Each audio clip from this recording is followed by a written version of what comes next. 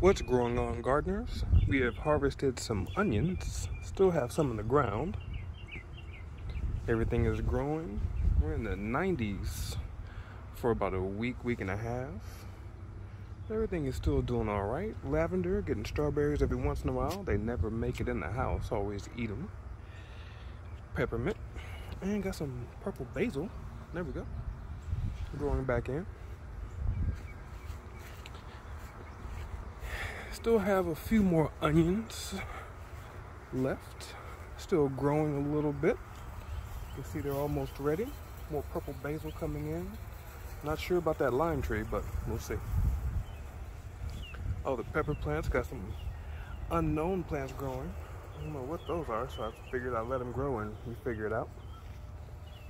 Some roses, more pepper plants. Tomato plants are getting large. Look at those. Got the mint in the corner. A couple things up to deter the birds. We'll see how that works.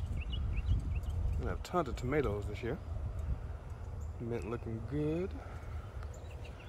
Blackberry plant growing. The rosemary. Not sure about the lemon tree either. So, then I got our greens.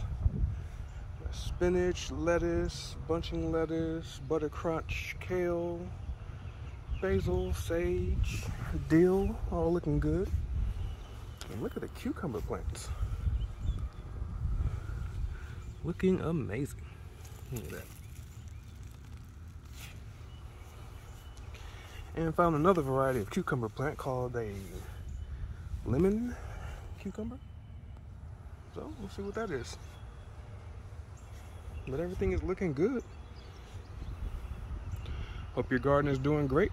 I'll garden at you later.